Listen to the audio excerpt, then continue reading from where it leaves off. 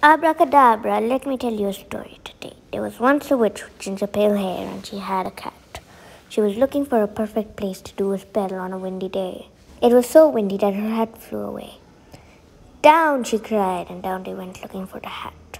They landed and they looked for the hat, but no hat could be found. Then out of the bushes came a dog with a hat in his jaws. He dropped it down and said, I am a dog as keen as can be. Is there room on the broom for a dog like me?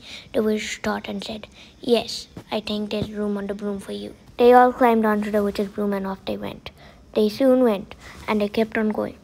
And this time, when the wind blew, the witch held on to her hat, but let go of her wand. Down, she cried, and down they all went, looking for the wand. They flew over the pond, and the witch saw the wand and said, There, and they followed it.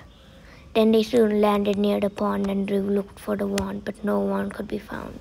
Then out of the pond came a dripping wet frog with a dripping wet wand in his hand. He gave it to the witch and said, I'm a frog as clean as can be. Is there room on the broom for a frog like me? The witch thought and said, I think there's just enough room on the broom for a frog like you. They all climbed onto the broom, but as soon as they went, the broom broke because of the weight.